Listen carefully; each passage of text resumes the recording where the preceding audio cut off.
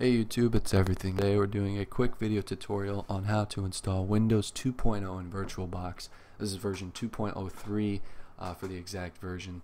And um, so let's go ahead and go through this. This is just another virtual hard drive. No other, other floppy disk or anything is required. So what you want to do is you want to uh, download either VirtualBox or VMware um, it's down below here, and then the WinRAR for the virtual hard drive. I will put the floppy links in the description though if you guys want them for future use. So, um, once you do that, go ahead and open up VirtualBox or VMware. Go ahead and hit New and type in whatever you want, Windows 2.0, and then put the version to Windows 3.1. Hit Next. Hit Next again. Hit Use an existing virtual uh, file, and then go ahead and use this one. Hit create, and then go ahead and start at the machine.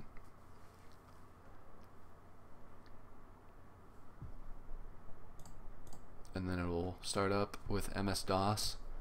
I believe this is version 6.22.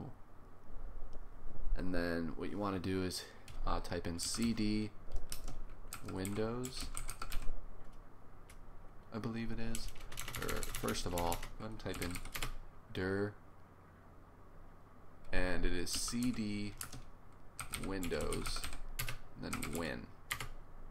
There you are. You have uh, um, the executive up here with uh, Windows 2.03. Now sometimes on the first boot up it's a little bit buggy but looks like it's doing alright here unless I open up a nope here we go so sometimes it can be a little buggy on the first try, like it'll the screen will vanish and stuff. You just have to reset the machine and do it again. As you can see, it's buggy right now. So what I would do is go to machine, reset, and it'll start up MS-DOS again.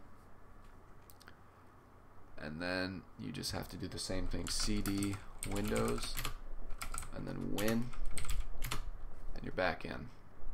It's as easy as that. And if you go to About, it's version 2.03 with the MS-DOS Executive. So that's a quick, quick tutorial again. Lots of these uh, have been quick. So um, this is a quick tutorial on how to install Windows 2.0 in VirtualBox or VMware. Thank you guys for watching. Uh, like this video if it helped you guys out. Also, uh, go ahead and uh, share it with people um, and also comment your ideas down below. And do not forget to subscribe for more videos. Once again thank you guys for watching. I'll see you guys in the next video